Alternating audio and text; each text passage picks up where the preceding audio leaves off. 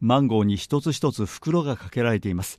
今はちょうどマンゴーの収穫期です。マンゴーには自然に成熟させるものと成熟促進剤を使用して成熟を加速させるものの2種類があります。生産者のライ・エーコンさんによるとエチレンを成分としています。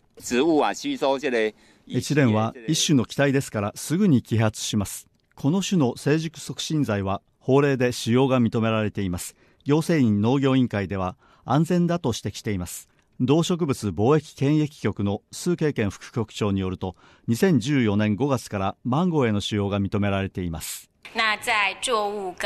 毒性が非常に低いのが特徴です。作物、土壌、液体の中で急速に分解されます。台湾では 1ppm を超えてはならず日本の 2ppm より厳しい基準が設けられています。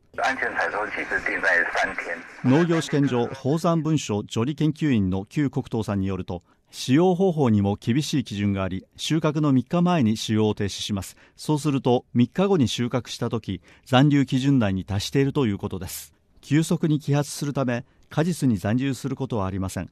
また検査機関が厳しく検査しているため成熟促進剤を使用したマンゴーも安心して食べることができるそうです。